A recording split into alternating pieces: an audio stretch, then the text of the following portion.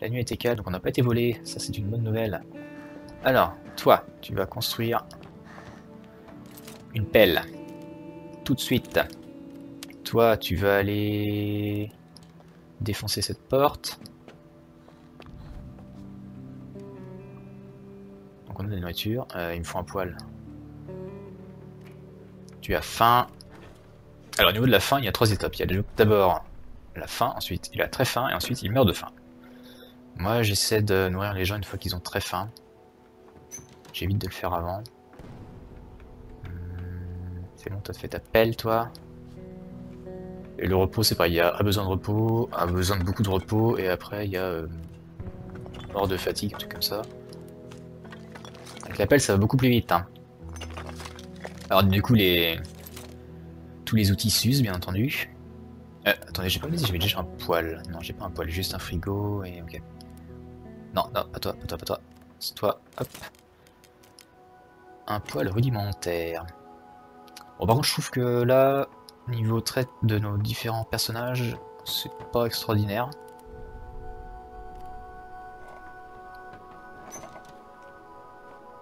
Alors en tout, on peut avoir trois personnages euh, simultanés. Et par exemple, s'il y en a un qui s'en va, euh, il peut y en avoir un autre qui va spawner et qu'on pourra accueillir éventuellement. Mais après, plus on a de monde, plus ça fait de bouche à nourrir. C'est compliqué. Des fois, il y a des personnes, c'est pas des cadeaux. Hein.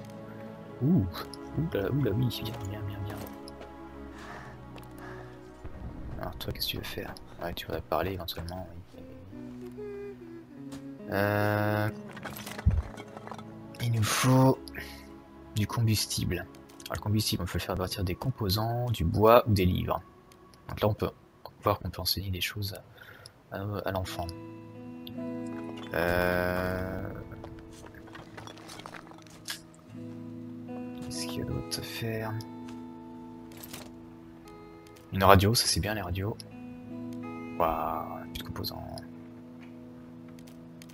On a si on a du bois quand même, faut pas déconner. Chauffage, on en a pas besoin tout de suite. Je vais faire une radio. On va la mettre euh, près de l'entrée, voilà.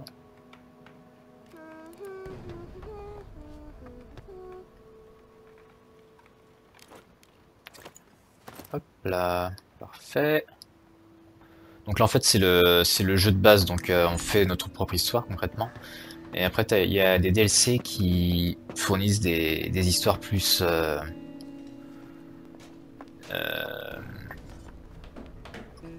plus suivies, on va dire, plus, plus linéaires, voilà. Il y a quand même des choix, mais on ne fait pas ce qu'on veut. Euh, c'est plus scénarisé, c'est ça que je veux dire. Là, on a juste un contexte et on fait un peu ce qu'on veut. Alors, la radio. L'avantage de la radio, c'est que ça nous prévient de certains dangers éventuellement, choses de ce genre. Nous allons voir ça.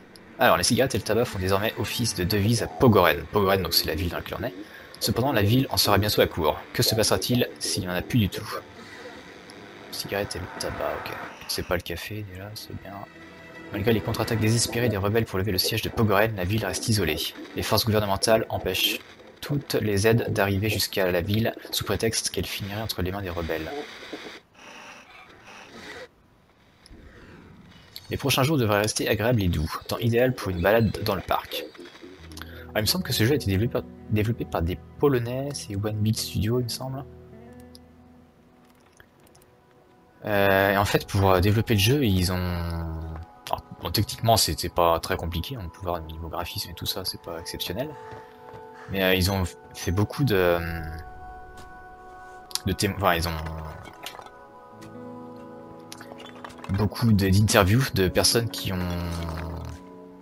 personnes survivantes, notamment du siège de Sarajevo. Et ils disaient que c'était vraiment ça qui était le plus difficile euh, du développement du jeu. Parce que c'était, il certains témoignages qui étaient vraiment insoutenables. Parce que, euh, disons que c'était la guerre, quoi. Et puis, euh, c'était pas la fête à tous les jours. Donc j'imagine qu'ils ont repris pas mal des choses qu'ils ont entendues des survivants et qu'ils l'ont mis dans le jeu. Des fois, il y a des choix qui sont assez horribles. Et ce qui est bien, c'est que c'est vraiment bien fait dans ce jeu, c'est que Même si c'est des choix horribles, ils t'incitent à les faire. Donc t'as toujours... Euh... T'es toujours tenté de le faire, mais après, euh, si tu fais des choses horribles, tu sais que ça affectera le moral de tes survivants, donc... Euh... Toujours ce doute. Viens là, toi. On va, on va parler. Nous allons discuter.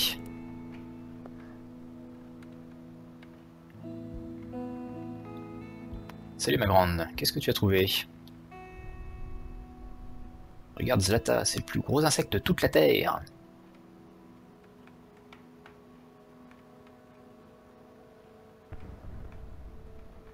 Fais attention à ce qu'il ne s'échappe pas. Est-ce qu'on a tout récupéré? Ouais, on n'a plus rien à récupérer. D'accord, je vais m'en occuper. Vérifie qu'il n'y a pas des nouvelles choses dans leur biographie. C'est bien ma grande. Même si je n'ai presque terminé. Besoin de repos, à faim. Euh, voyons voir, qu'est-ce qu'on peut faire de plus?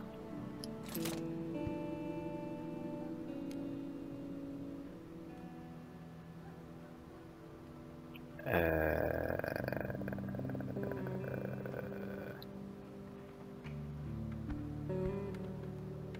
Je suis sûr d'avoir oublié un truc, mais je ne sais plus quoi.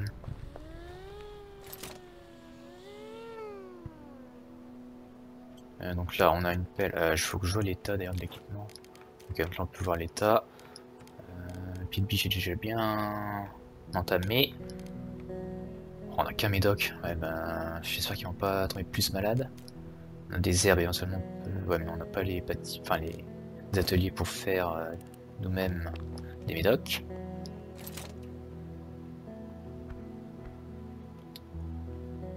faire un autre lit, ça nous coûterait des composants. Et récupérateur d'eau de pluie, euh, beaucoup de composants. Des pièces, on en a un peu. Ouais, il me faut surtout des composants. Distillateur, pour faire l'alcool, donc ça, euh, c'est pas vraiment important. Mais attendez, il me manque pas des, des, des ateliers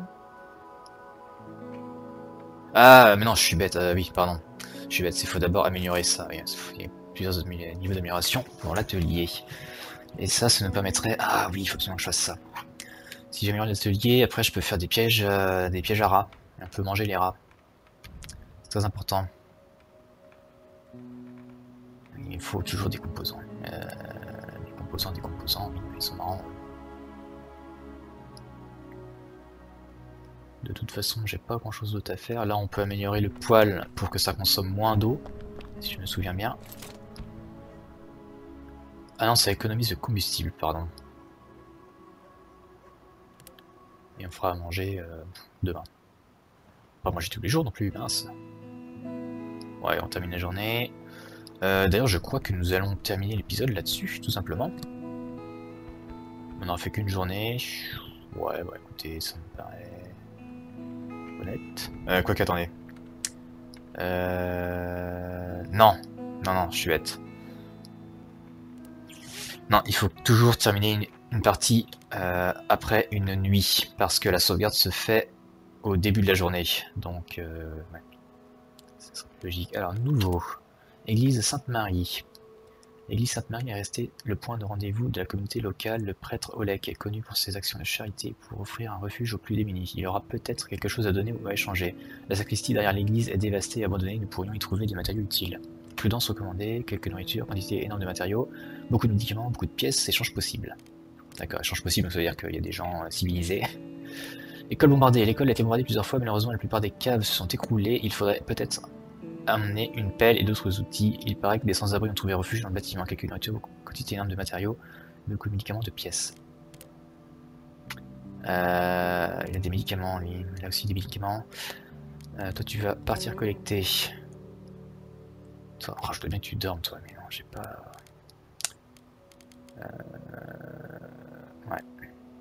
Il n'y a pas d'hôpital. Il y a un moment où on peut atteindre un hôpital, et si on est vraiment bien amoché, euh, il nous soigne.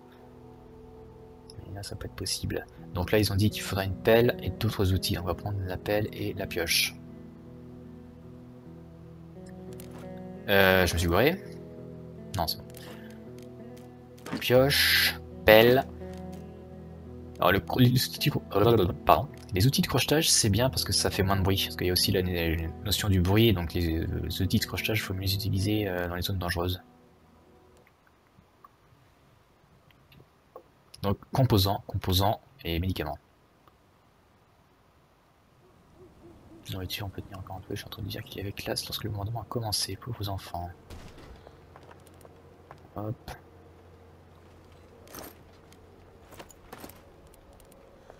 Bon après j'optimise pas vraiment euh, mes recherches hein, parce que je sais qu'il y a des manières d'optimiser pour faire euh, vraiment optimiser à fond la caisse. Euh. au début on déblaye tout, ensuite on prend tout ce qui est au bout puis on le ramène. Au début moi je m'embête pas trop à faire tout ça.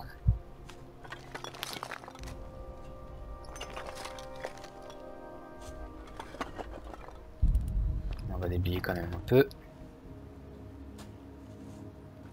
Cette pelle fait du bon boulot. Donc là on peut voir quoi le l'onde de choc, là c'est le bruit en fait que ça fait.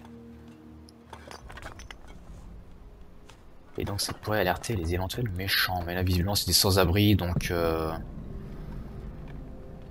Donc ils vont pas être méchants si on n'est pas méchant envers eux. Alors déjà... Ah oui on peut se servir euh, de ça comme arme de, de mêlée. Alors, il faut savoir que dans ce jeu, nos... on incarne des civils, donc ils sont très mauvais euh, pour combattre. Donc vaut mieux éviter à tout prix. En général, j'arrive à faire toute une partie complète sans tuer personne. On va essayer, parce que je suis quelqu'un de très gentil.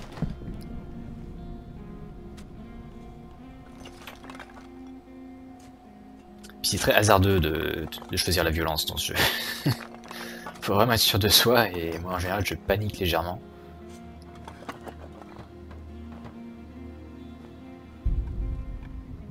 Parce que le fait de tuer quelqu'un dans ce jeu c'est vraiment pas anodin.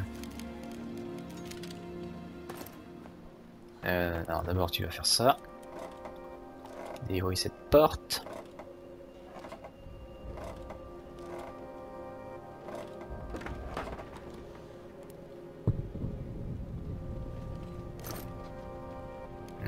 On en a encore quelques-unes.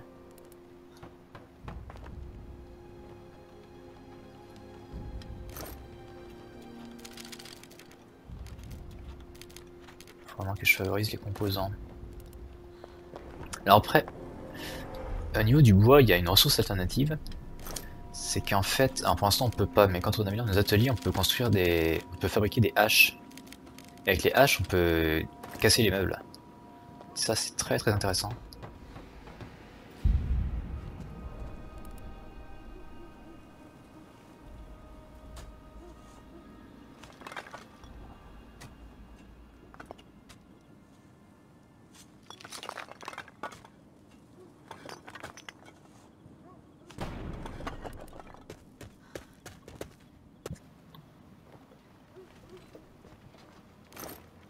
Ouh, euh...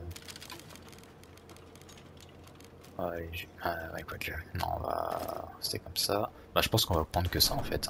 Je vais quand même voir ce qu'il y a. Est-ce qu'il y aurait des choses que je pourrais. Euh... Ah, déjà, hop. On essaie de tout ouvrir. Et voir si je peux déblayer d'autres d'autres endroits. Voir s'il n'y a pas vraiment quelque chose d'exceptionnel à ramasser. Non, pas là en tout cas là, il y a des barreaux.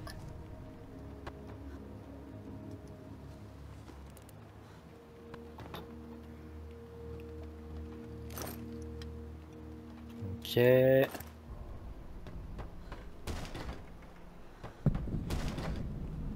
Ils ont encore pris ma nourriture. Bon, on fait passer. Il a pas l'air bien lui. Ouais, on peut toujours compter sur les amis.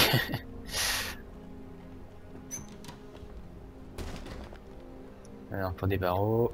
Alors ça, ça veut dire que c'est du vol, cette icône là. Donc ça affecte le moral. Alors toi, tu dis rien, bon très bien. Oh. C'est étonnant ça. Waouh Punaise, je sens que je vais beaucoup venir par ici. Donc là, même si on est juste à côté des gens, c'est pas du vol.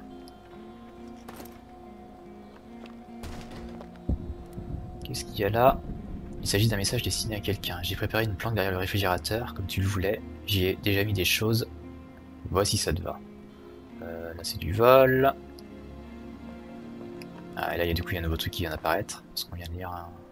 ça. Oh. Alcool de contrebande, ça on peut le revendre. Il y a de la nourriture.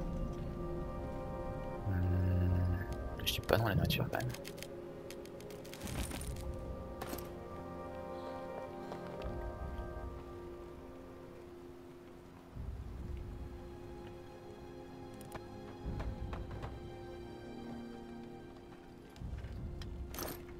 Waouh, il y a vraiment plein de choses à ramasser.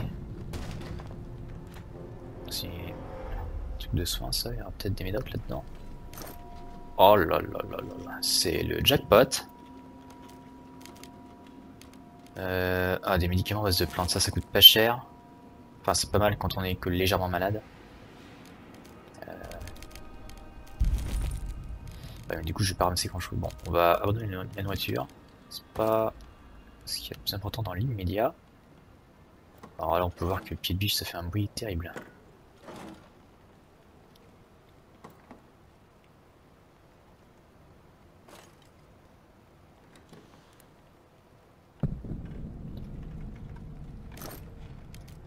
Oh, c'est pas très rentable. Bon, euh, voilà, on a tout fait, on va partir. Mais là, on va, ouais, on a de quoi faire quelques tours. Hein.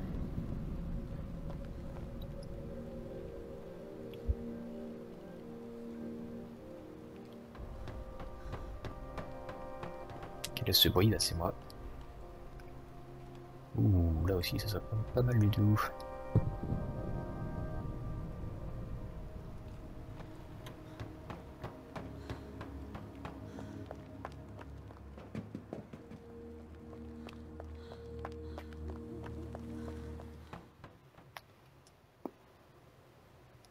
Zlata est de retour. Eh bien, nous allons donc terminer cet épisode là-dessus. Merci à tous euh, de l'avoir regardé.